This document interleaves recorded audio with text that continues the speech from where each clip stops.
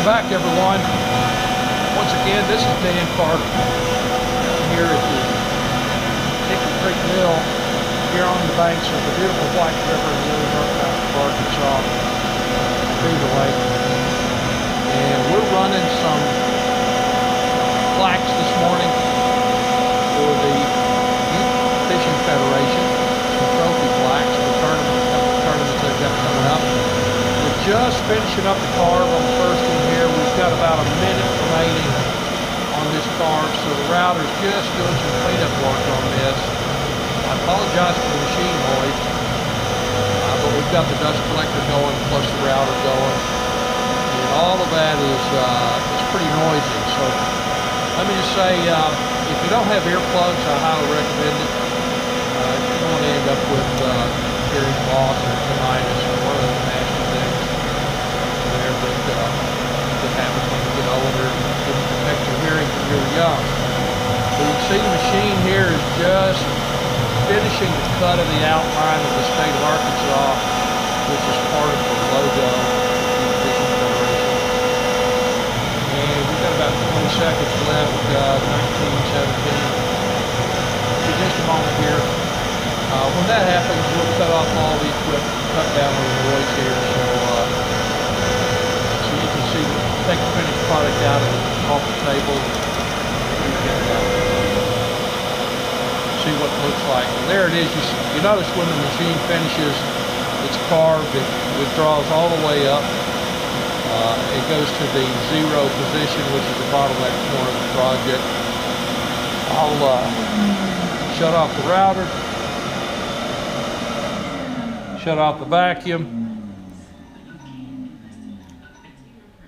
and uh, I'll grab my these payroll forms, my business payroll taxes will calculate themselves.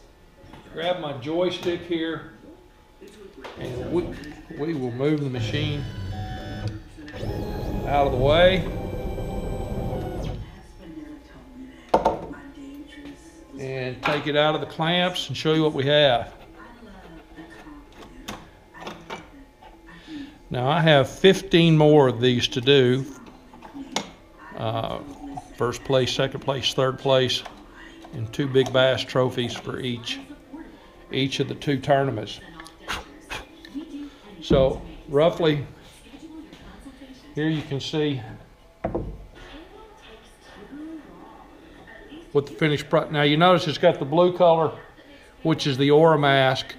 The customer wants these with uh, black lettering, so everything that's carved out will be painted black. So that Oramask, which I showed you how to apply in a previous video, you notice it gives you a very, very nice clean cut with that V-carve router bit. So that'll make some nice fine lines when we paint this and then peel that mask off. So folks, that's uh, that's kind of it uh, for this video. I thanks for watching, and uh, we're gonna jump out of here. I'll show you uh, how to paint this and finish it off in another video that we'll have up here uh, very very shortly. So thanks for watching. Again, this is the uh, Hickory Creek Mill. come on back and see us really soon. Hit like and subscribe if you enjoyed what you saw here. We'll uh, talk to you again very soon. Thanks.